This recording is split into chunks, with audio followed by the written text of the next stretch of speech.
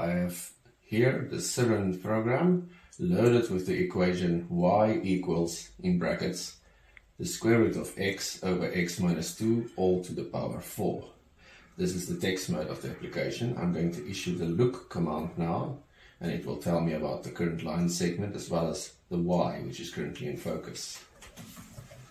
Greater look you are currently viewing the document the current line is colon. Y equals the current focus is colon. Y location colon. 9. 55 from this element. The following elements can be reached colon. Right colon. Equals use. Okay, I stopped the speech there in the interest of time, but it told us that we are currently focused on the y and to the right of us is the equals. I can move to the equals by typing the right command.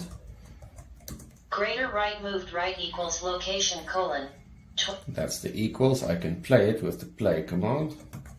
Greater. That's the sound of the equals. Let me switch to a graphical mode where I can actually interactively use the cursor keys to explore Graphic. the equation. Switch.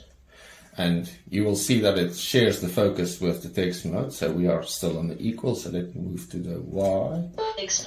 Uh, that's just, I just switched to uh, pro, uh, focus mode with the screen reader there. Y. So that's the Y. It played as the Y and it also announced the Y. Equals. That's the equals. And that sound is the bracket. I can actually play it again um, by issuing the command to play the element right of the equals. So that's the bracket. Let us move to the square root. Square root raised.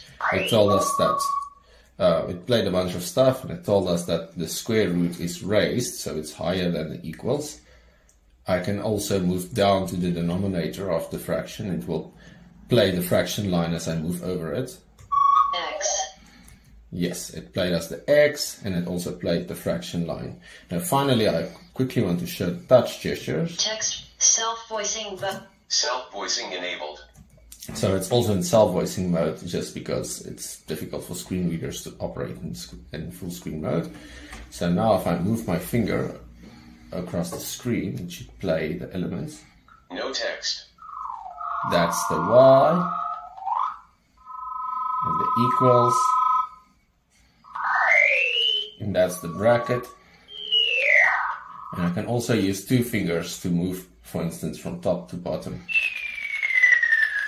over the bracket. And that's the end of this little demonstration. I hope you found it interesting.